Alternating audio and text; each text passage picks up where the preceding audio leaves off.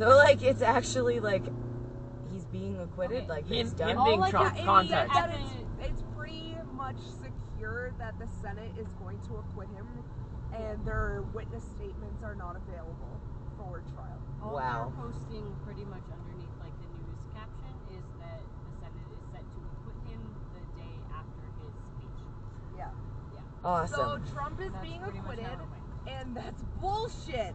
Okay, here's my question to you guys. Though. Yeah. What, Yeah. what did you expect to happen differently? I oh no, I didn't that expect it to go different. I I'm didn't just expect I'm surprised it did is in the straight up it place. is just it is just a denial of the law. That is the thing that I think that is like just the bedrock of it is that it's the denial of the law. And I'm just like this is exactly what I thought would happen. I'm not actually surprised. I'm Just not frustrated Yeah. because yeah, because it's just like hello hello to exactly the rule. Exactly. Yeah, So- Like- surprised like we set out these rules for a reason. impeachment hearing, though. Like, why would you go as far as to say we have evidence that he's done something wrong? It's because and then acquit him It's because those that evidence? decided whether or not he was impeached were Democrats, and those that decided whether or not he got like acquitted or taken out of Are office were Republican. Because Republicans have majority. It's because it's a obviously. different set of people that are handling it.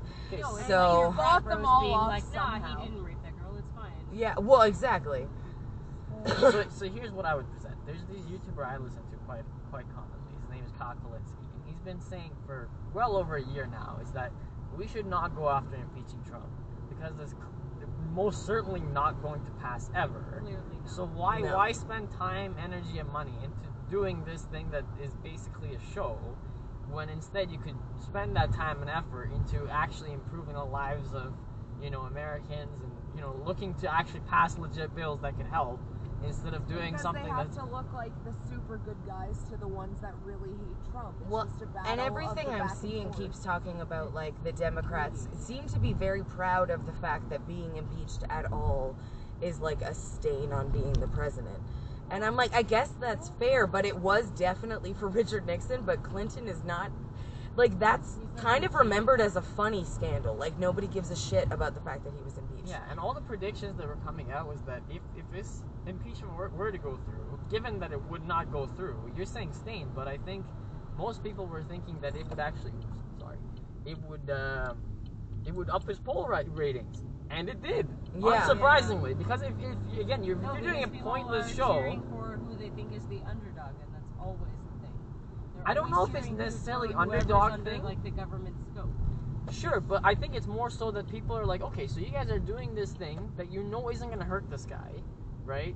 So wh- why are you why are you doing this? Are you just grandstanding? If if your p- whole party is about just grandstanding, then screw it. We don't want to be with you guys because Well, I don't You know think what I mean? that's their of the point, but I think you're right that the point might be misguided. yeah, if, if you're just doing a grand, knowing that you're not going to achieve anything, if you're just going to I think a grandstand, lot of then the I time think the the, moment- populace thinks that the government is automatically wrong. So at the point where you have a bunch of people who are saying, "Oh, Trump is wrong," anyone who's in the middle is suddenly like, "Oh, well, maybe they're attacking the little man, like they're Yeah. the Right. person who And can't then the moment himself. he gets acquitted, all of the people that might have been on the fence about it are now Suddenly suddenly, going to be like, dead. "Oh, he's okay." it's right then." here, yeah. Yeah, Yeah, yeah all right, take care. Yeah, we have a second stop now. I No, think it's no update, yeah. Yeah, I'm good now.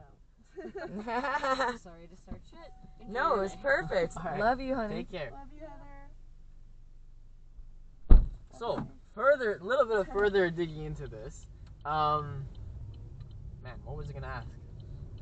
It completely escaped me. All I know is we were talking about Trump.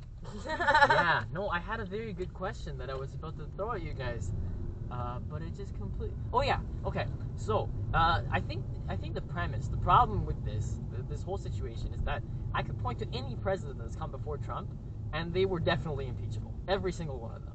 Maybe with the exception of Carter, but every other guy has committed like war crimes of several sorts. And not to say that it's good and we shouldn't hold these guys accountable, but the thing is that the, job of the U.S. presidency has come with committing impeachable offenses in the last several decades. So the question becomes, if you're going to start this impeachment process, even though it, it's you know, in logically it makes sense to you know try to uh, prosecute somebody who's breaking the law. Question becomes, do you do this now for every president that you disagree with? Well, that's My biggest fear is that certain presidents, although they might have done something that was debatable, They're not know, even or- debatable though. That's the thing. Like or- or Obama, it's Bush, Clinton. done, or explicitly done. My, I didn't fear that Obama was going to become a dictator.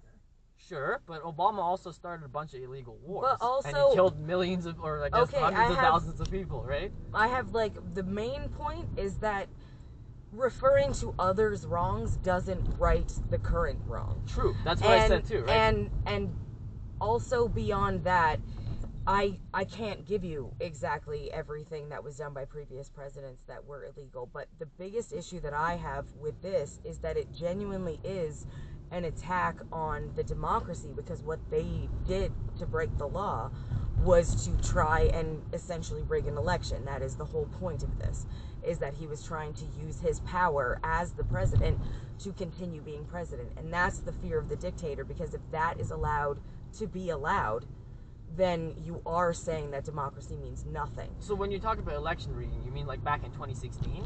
No, I'm talking about I'm talking about now because the whole thing that he's being impeached for is that he was trying to he was trying to get dirt on Biden as his political opponent so that he could win the election because he Right. sees Biden as his main opponent. I see. And the thing is, is that he's using his power as the president to try and secure his presidency.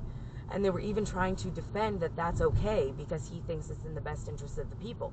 But everybody thinks they're in the best interest of the Yeah, yeah, people. but Hillary and you can't last use, But too, that's right? my point. You can't use the power of the presidency to prove that being the president is the right choice for people. That is just a dictatorship. And that's what scares me about this more than anything else. It's not that he's a president that broke the law. It's that he's a president that broke the law that flies in the face of being a president at all. Right. Okay. Fair enough.